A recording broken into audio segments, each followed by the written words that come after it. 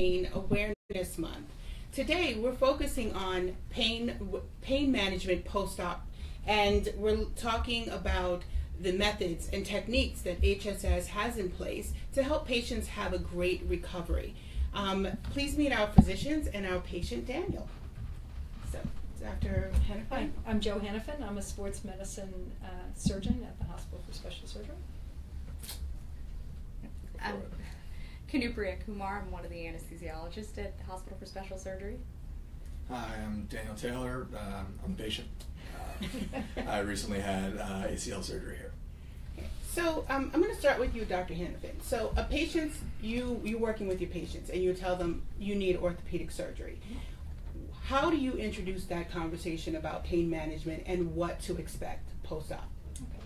So there are lots of different levels of orthopedic surgery. Uh, so the simplest things I do may be an arthroscopy of a knee or a shoulder. Um, and I explain to the patients, first of all, how they're going to be treated by anesthesia. So we use regional blocks, which Knups will talk about in a little bit. Um, we try and get a preemptive strike on pain so when, when they wake up after their surgery, they're not in pain because the body part that we've worked on is numb. And then we begin to utilize pain medication after. And we have a somewhat unique approach. Um, I use nonsteroidal anti-inflammatories as a way to manage pain, and we use round-the-clock Tylenol. So over-the-counter Tylenol is a really effective pain medication. And then we teach the patients that the third phase of this pain management is the use of narcotics, but really only if they need it. And so if you separate out the narcotic and the Tylenol, which you can do, um, then you know whether you just need Tylenol or whether you need something more than Tylenol. For bigger procedures, like an ACL reconstruction or rotator cuff repair, someone may need narcotics for two or three days, but for simple knee scope, they may not need them at all. Uh, we often give a few just so patients know they have it if they're worried. Um, and I think it's important to talk to patients about expectations of pain. If you make an if you cut your hand, you have pain. If you make an incision in the skin, you have pain. But the question is how you manage that. And not all pain requires narcotic pain medication. And that's what I try and give them a heads up in advance. And Dr. Kumar, um, looking at that subject and, and talking about the, the management of pain, how what do you say to patients when you're meeting them? Usually you're meeting them on the toughest day when they're actually going into surgery. And how do you help them through that conversation? Well, it helps when the surgeon, like Dr. Hannafin, has had that conversation before. Because, like you said, when you're coming in for surgery and you're in a buttless gown and people are coming at you, it's very nerve wracking, it's very scary, and it's D Day. You know, you, you try to prepare for it. When I meet the patients, often we get questions about pain management afterwards, and we have very similar approaches that you know, I tell patients it's sort of like cooking. You don't want to use one spice too much, otherwise you end up with something over salted. So you don't want to just focus on one aspect. You use the non-steroidals like ibuprofen. You use acetaminophen. You use we have nerve membrane stabilizers. We use narcotics and we talk about them certainly how to use them safely and how often to use them, when to think about tapering off of them. But the idea is that we impart to all our patients is that it's important for recovery to manage pain. And there are a number of ways to do it. The biggest thing we can do is set expectations. Mm-hmm. And Daniel, that's a great segue into I know you, you recently or not too long ago had surgery here Yep. For, to repair your ACL. Um, was a lot of this information explained to you, or did you have a lot of questions regarding pain management and what to expect? Uh, most of it was explained to me from the from the beginning, right? Um, you know, ever since you know I walked in with a torn ACL, this is these are sort of your options. Um, you know, this is what surgery is going to look like. This is what recovery is going to look like.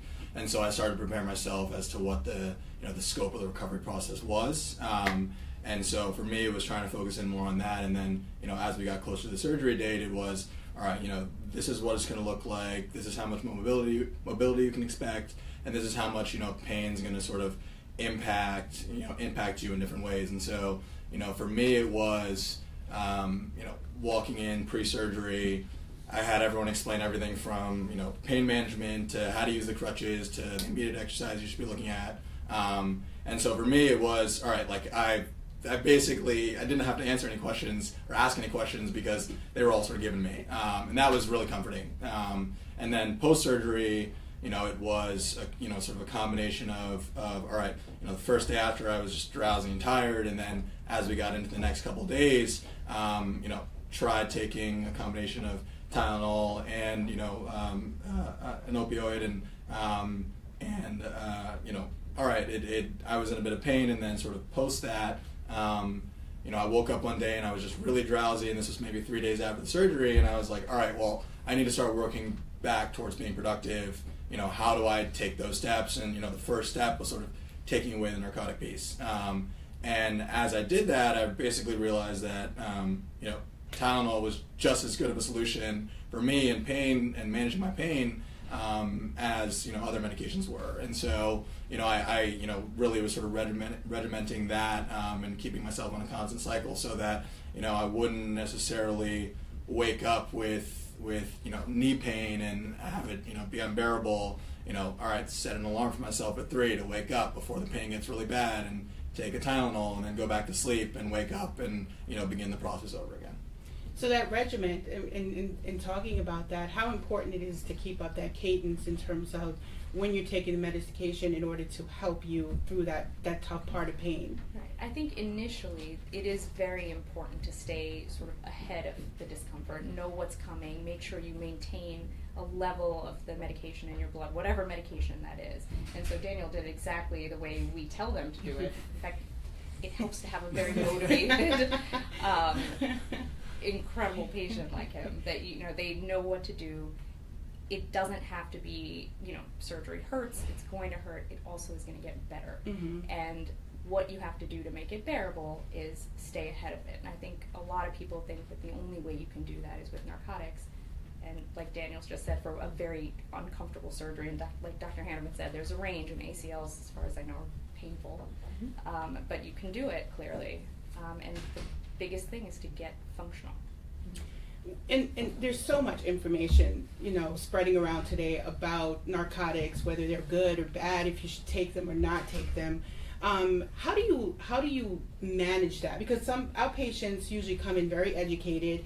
They they know what they're being prepared for in terms of surgery, and they, they come with the knowledge. So how do you balance that in terms of the expectations, but also letting them know that sometimes yes, you do have to take certain opioids in order to manage the pain. Yeah, I think the parents of teenage and young adult patients are probably the ones who are most attuned and ask the most questions about how you use opioids or how you not use opioids. Um, and I think to explain to them that for a bigger surgery in the first day or two, or maybe even three, you may need an opioid on top of your anti-inflammatory and your Tylenol. Um, but have the parents control it. So the bottle is in the parent's hand, so that when it's not needed anymore, the parents can find a way to, to discard it, rather than leaving it in a cabinet, which is, we know is a risk factor for young people. I think the other thing we didn't mention is the use of cryotherapy. Um, cold is incredibly positive in terms of helping to relieve pain, particularly for things that are close to the surface of the skin. So, you know, the ACL incisions and the swelling in the knee respond very well to ice therapy. And so I think the concept that this is multimodal um, is important for the parents to know. We use, in addition to a spinal anesthetic, the anesthesiologist will use often a, s- a block that numbs the nerves that just provide sensation. So it doesn't impact anyone's ability to function. Let's say the front of the knee and the front of the shin may be numb for a day or so. That makes a huge difference in terms of pain, but you have to educate the patients that it's going to be numb and that 10 hours later they shouldn't freak out because their skin is numb because it's supposed to be numb and that's how we're helping to manage their pain.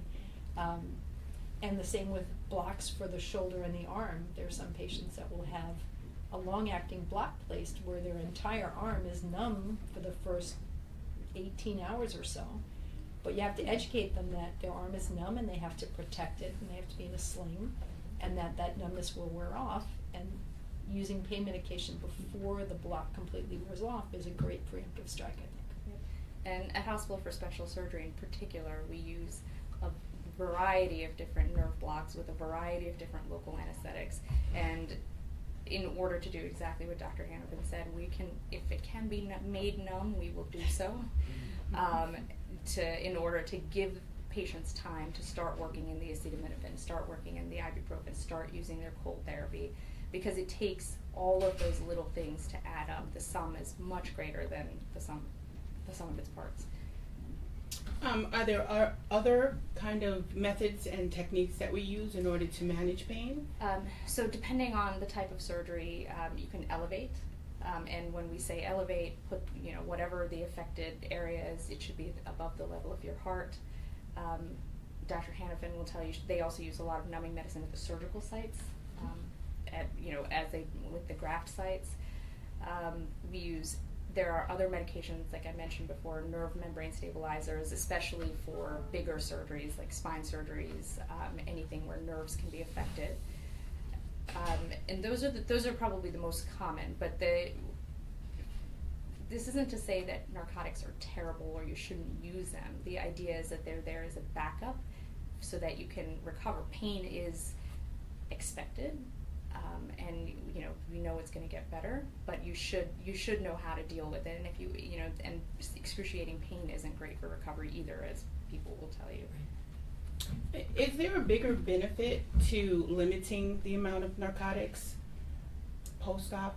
Um, I think one major benefit, particularly for teenage girls, uh, is they are very prone to getting constipated Yes. after narcotics. And so, using a narcotic for 24 hours or even 36 hours, um, they can get very constipated.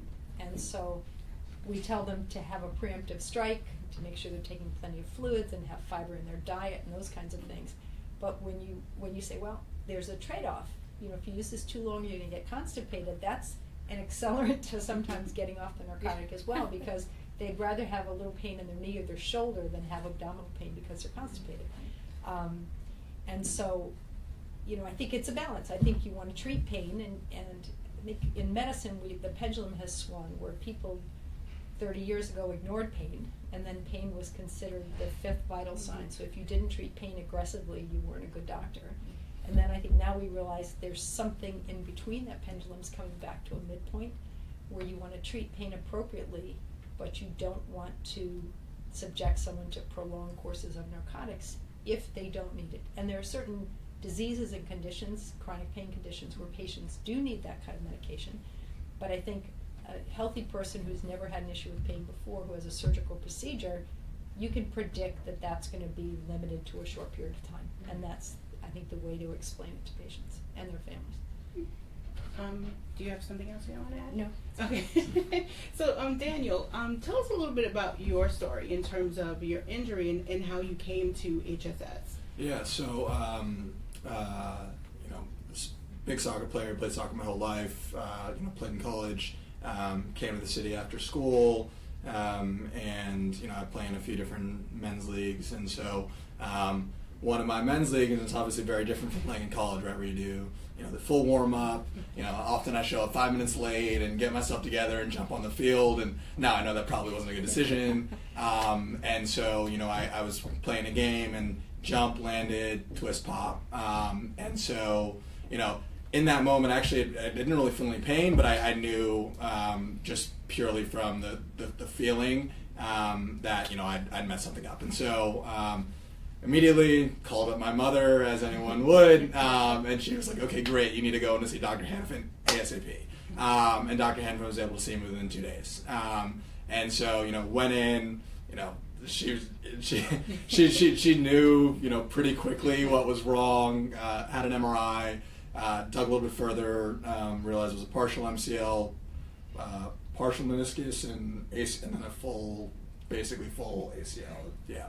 Um, and so, uh, you know, it, it, was, she explained to me that the process was okay, well, you know, getting surgery right now is, is one thing, but you basically want to go in with as strong of a leg as possible because your recovery process, you know, takes a while. And so, um, you know, did about a month and a half of, of rehab, getting my leg up to where it needed to be, and then um, um, uh, and then went into surgery with you know with a knee that felt like it was you know 90 percent. Um, and for me, that was actually really really a really really good thing, and part of the reason why the recovery has been um, you know uh, productive to some degree uh, was because I was able to do that you know sort of pre-surgery prehab and then go into surgery and sort of jumpstart the, the post surgery rehabilitation and getting my, you know, waking my legs up again. So often with athletes, we hear that you know it's it's very difficult for them to sit still sometimes Yeah. during Yeah. recovery. How difficult was that for you? Yeah, it was it was it was tough. Um, you know, specifically like the first say three weeks or so, right? Where um, you know the first week wasn't very functional, right? It was on the crutches, but you know was home with mom and dad. Um, and then eventually I was like, I got to get myself out of here. Like like I just can't of leave. I got to get back to work and um, and so went back into the city. Um, and and you know, but was at home for another you know week and a half. Um, but it was you know during that period, it was a combination of you know utilizing the simple you know strengthening exercises um, that were given to me for you know post surgery.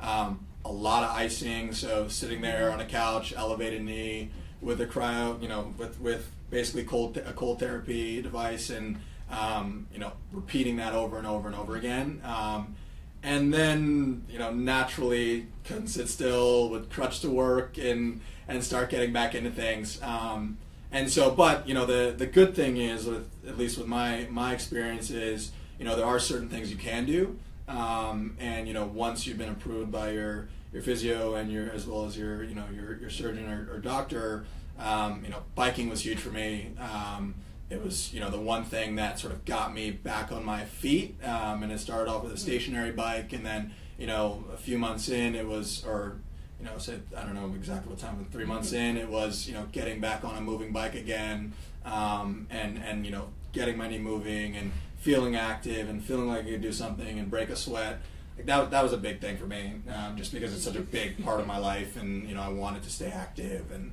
and so getting using cycling as sort of my mode to get back into athletics is, has mentally been such a big thing Yeah. So, and and and talking about that, I know that often you want to help patients guide them through the recovery period and and tread softly sometimes, but um, the risk of re-injury can be devastating, um, of course, to a, a patient at that time, and then that also brings in another aspect of another level of pain management.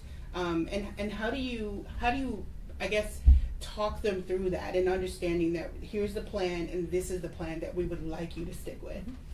You know, on the first visit where we talk about the potential for surgery, I literally write down the goals for different Yeah. periods of time, and I keep reminding them. Exactly. They'll say, "Well, you know, That's key, why can't yeah. I play soccer? It's I'm three months out." You go, no, you can't do that because we told you it was going to take probably seven to nine months before Right. you back on a field, and so you just keep reinforcing the same information, and um, and I think that's helpful. I think the other thing is to find something that people can do to keep their sanity because you know I've been an athlete my whole life, and if you suddenly can't do anything, it's miserable.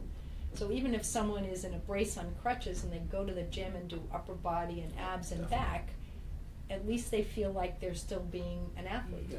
Um, I had an ACL a very long time ago, 1982, 81 actually, and I was a rower. And one of the things my rowing coach did in those days, they put you in a cast after an ACL, and so he hung a rope with a sling from the ceiling of the boathouse, and I sat on a rowing ergometer. And I rode with one leg, and my other leg just kind of floated back and forth. And people thought I was crazy, but for me, it was knowing I was still going to row, Mm. and the rest of me stayed in shape until I could actually get the cast off. Fortunately, we don't do that anymore. Get the cast off and use my other leg. So, it, I think having lived through that experience makes me understand that you can't say to someone, "No, just no, don't worry, you'll be fine. You can act, don't exercise for a month. That's not an acceptable thing to an athlete." Yeah. It's kind of how soon and what. And so I think you give them things that are safe, um, and you explain why certain things aren't safe, and and pray to God that they don't do too many risky things. Yeah.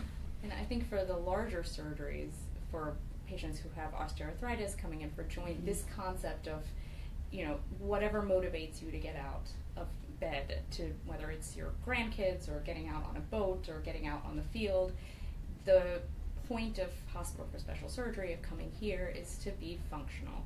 And if you have something like that that you want to get up and move for, that you know narcotics you know, Dr. Hannafin mentioned one thing, which was the constipation. They can make you feel terrible. You can get nauseated. You can feel lightheaded, dizzy. You can have hallucinations. One of the bigger things that um, we're concerned about and we see is something called opioid-induced hyperalgesia, which means far from taking away your pain, it actually they actually can sensitize you to pain, so things hurt more. Um, so there are benefits to staying off of them in this concept of prehabilitation and getting yourself and your body ready for what comes postoperatively, getting yourself stronger, whether it's after an ACL or a rotator cuff or a total knee replacement or after a spine surgery, anything so that you're on the road to recovery before you even come in for surgery, I think helps with the overall um, decreasing the use of narcotics. Maybe you could comment on patients who, because they've had terrible pain from, let's say, an osteoarthritic knee, who have been on narcotics to simply manage their pain prior to their knee replacement. How is that patient approached differently by anesthesia and by the pain service? So the the tricky thing with patients who've been on narcotics for a lengthy period of time preoperatively is that they're starting in a little bit of a hole. As anyone who's been on narcotics will tell you, they develop a tolerance pretty quickly. So where it used to be that they could take one or two pills to get through the day, now by the time they're coming in for their knee replacement or their hip replacement, they're needing to take pills every two to three hours in order to function barely so they can get to surgery.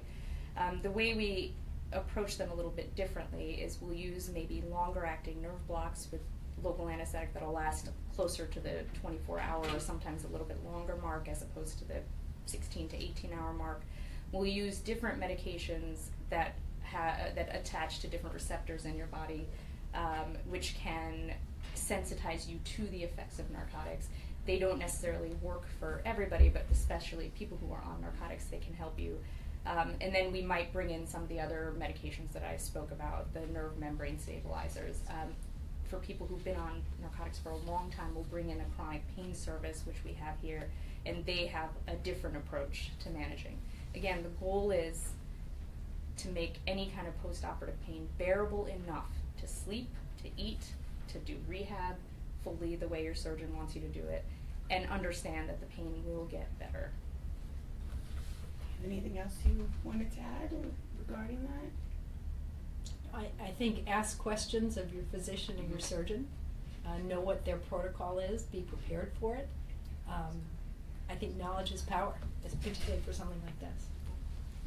And for me, it was you know timeline, right? Like you know, ask for a pretty clear timeline and to stick to it. Um, you know. Yes, um, so we had a few questions come in. Um, can you speak uh, once again about um, medications um, in particular? Are there other medications, over the counter or otherwise, uh, that can help with pain after surgery? So the biggest ones, the most common ones that you can get over the counter are the ones we mentioned, the acetaminophen, the nonsteroidals. Um, the way those help the most is the way we've spoken about that you have to take them on a regular basis on a schedule. It's harder for those to take care of your pain adequately if you're in the throes of agony and then take two acetaminophen and expect that to help. Um, so trying to stay ahead of things can help. The elevation, the ice, um, depending on the surgery you've had and what your and your surgeon's preference and what your dressing looks like, you can do over the counter um, patches, pain patches, which you can get at the drugstore. Um, prescription medication that can also help sometimes are um, muscle relaxants. Again, depending on the type of surgery you've had. Um, some surgeries are notorious for causing muscle spasms, so those help with that aspect. Um, but aside from that, those are the most common ones, the easiest to take, the easiest to manage, the easiest to dose yourself with are uh, the acetaminophen and the nonsteroidals. But I think it's important, your physician may be giving you um, acetaminophen under a different brand name, for example. Mhm. So that's the generic name for Tylenol. And let's say your physician gives you Percocet. Well, Percocet is um, narcotic and Tylenol in a single pill. And so you wouldn't want to add more Tylenol on top of it. So I think it's really important to communicate with your physician or their nurse or their physician assistant Yeah. what your other options are rather than simply adding things on, on your own. Um, And this all that also goes with the non-steroidal anti-inflammatories like ibuprofen or naproxen because some for some surgeries your surgeon would prefer you not to take those in the immediacy.